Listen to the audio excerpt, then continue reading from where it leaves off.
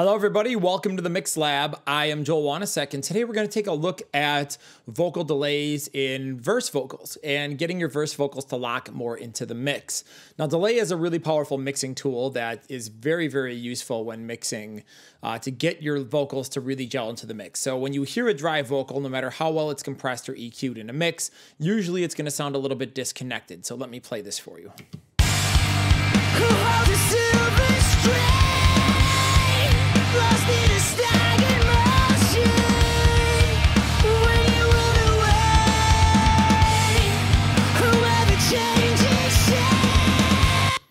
That's just a straight vocal, run into some basic compression, and basically, you know, sitting in a pretty decent spot mix wise here in this rough mix. So we're going to take a look at some different types of delay. And um, when you're mixing, there's a couple of different ways you can attack it. So the first one would be a mono delay. So let me open up these two delays I've got. I've got an eighth note and a 16th note, uh, very similar settings. Mine here, let me adjust the filter on this. Okay, so there's a couple things to talk about in terms of delay. So mono delay is going to be really interesting because it's not going to be very wide and it's going to be very kind of up the middle and you can use it a lot to gain ambience on a vocal. Whereas a stereo delay is going to sound a bit wider and depending if you decide to make it ping pong or whatever you want to do, um, you can create all kinds of very interesting effects. Um, a good practice sometimes is having like a mono style reverb and delay on a verse, and then when you hit the chorus in the song, opening it up into stereo effects and getting lots of big bouncing delays and things like that to kind of make everything sound wider. So let's hear what some of the mono delays sound like on the vocals. So I'm going to start out here with a 16th note, which is going to be very tight in this song.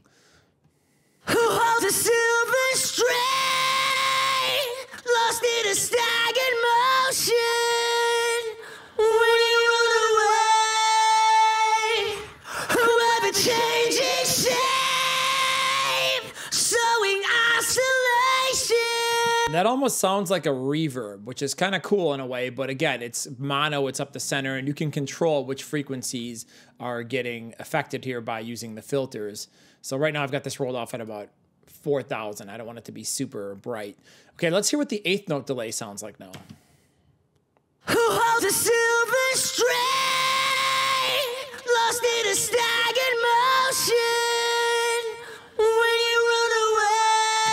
Sounds kind of like an echo. Let's go up to a quarter note. Who holds a silver string? Lost in a stagnant motion. When you run away. Whoever changes shape. Okay, now that we've heard it, let's do it in the mix and have a listen to how these different delays feel. So first off, we're gonna start out with the 16th note. So I'll go back and forth in solo so you can kind of hear everything.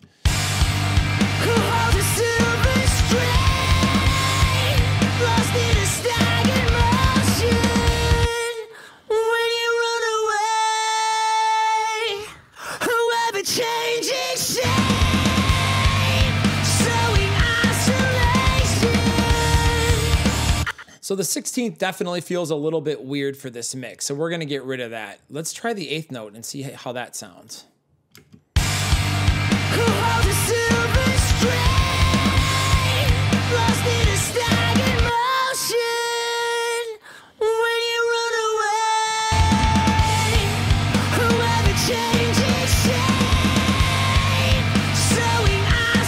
Now let's go up to a quarter. It still feels a little bit weird for this song.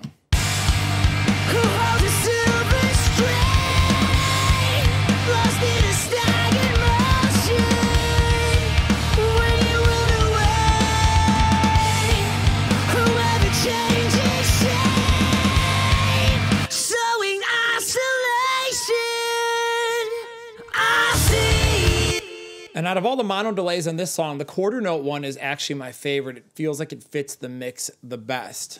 Okay, so let's get rid of these mono delays now. And let's take a look at the two stereo delays. So I've got H delay here, and I've got a quarter note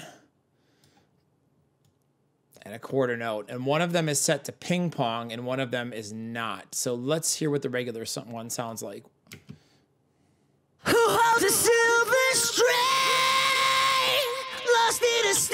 So very similar to the mono, I also have the lo-fi button on this to kind of, you know, get rid of the top end and the bottom end of the frequencies. So now let's hear what ping pong sounds like. It's going to be a little bit different and more anthemic. Who holds a silver string? Lost in a motion. Now let's compare them in the mix. I'm going to take a pass here with just the regular quarter note, which is going to be similar to like it sounded on the mono delay.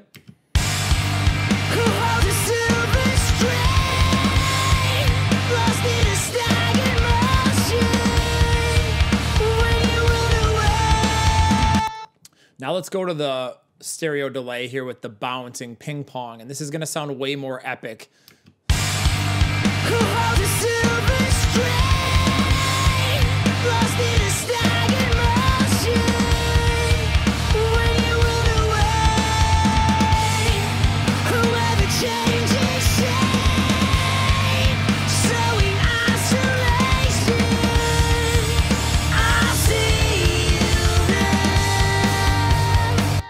That's pretty cool. It's pretty anthemic. But as I said, there's a lot of stereo left right bouncing going on. So that may or may not be a liability in the chorus, depending on how you want to build the song. Now, the fourth type of delay here we're going to take a look at, or I should say, sorry, the third, is using a stereo delay almost like uh, a really tight slap back bathroom kind of effect. And this can be good for using as a widener. So I've got this on a 30 second note, and I'm just going to go and filter down. Um, let's just be pretty aggressive here with it. Uh, the numbers don't necessarily matter too much, but I'm just basically keeping just the mid range here. Let's go up to like 3000. So this is going to make it sound more, I would say, bathroomy and give it a unique sound. Who holds silver string?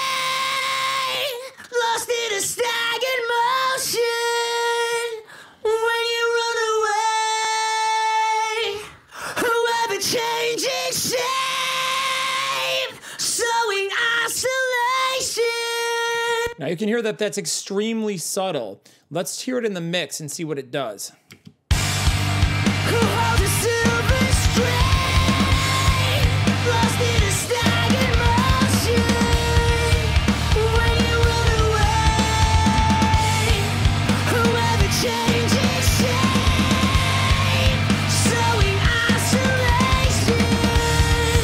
That's kind of a cool way to make our vocals feel a little bit bigger and a little bit more exciting. So let's leave that on. That sounds cool. I like how it is. It's very subtle. And then let's go add this quarter note delay. And we're going to kind of cascade these a little bit. Um, but I'm going to bring all the mix amounts down to be very subtle. Uh, actually, let's go back to one of these here. I'm going to use the 16th note just for fun. And we're just going to use these all on very low amounts and uh, cascade these delays here in series and see what it sounds like.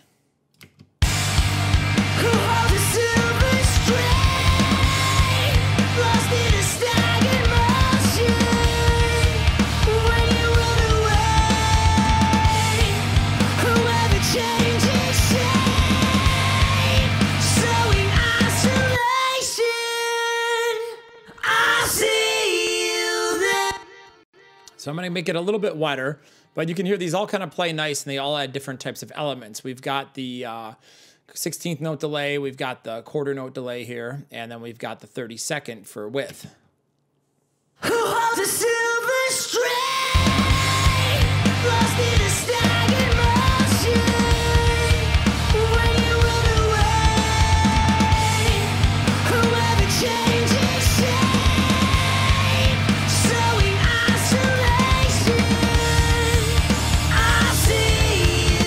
When we switch back and forth, when I take all the delays off, what it sounds like now is the vocal's a little bit disjointed from the mix and it feels like it's just kind of floating in space. But as soon as I put the delays on, which are all kind of subtle and adding their own little thing, it sounds a lot more like a mixed vocal.